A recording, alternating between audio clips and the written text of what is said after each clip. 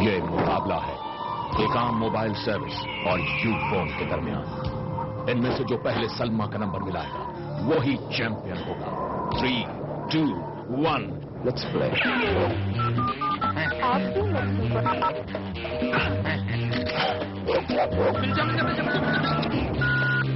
hello Salma